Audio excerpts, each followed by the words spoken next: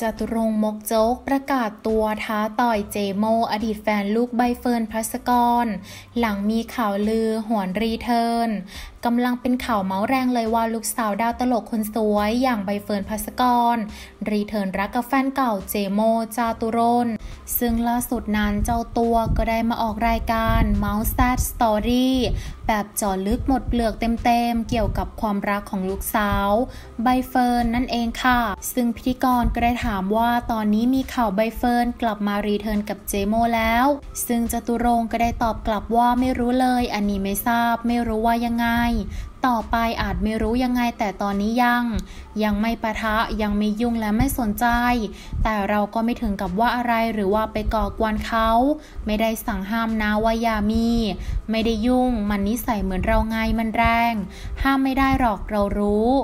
ซึ่งพิธีกรยังถามต่อว่าถ้าเกิดต้องเจอกับเจโมล่ะ จะทำยังไงหรือผู้ชายแบบไหน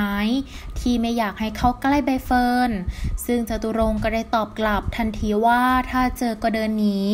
แต่ถ้ามันท้าเราต่อยก็เอานะ ซึ่งจริงๆ ก็ไม่ได้อะไรหรอกเป็นการแสดงจริง ๆ แล้วรักลูก ทุกวันนี้ก็คุยกับเฟิร์นปกติ และเจ้าตัวยังบอกอีกว่า ลูกเก่งทุกอย่างไม่มีอะไรอยากฝากบอกหรอก แต่ลูกนั้นโง่เรื่องความรัก แรงไปไหมแต่มันดูอยู่มันด่าแล้วนะพ่อพูดแบบนี้ได้ไงแต่ไม่เป็นไรเราพูดเรื่องจริง มีคนเข้ามาในชีวิตมันเยอะนะ นั่นเองละค่ะ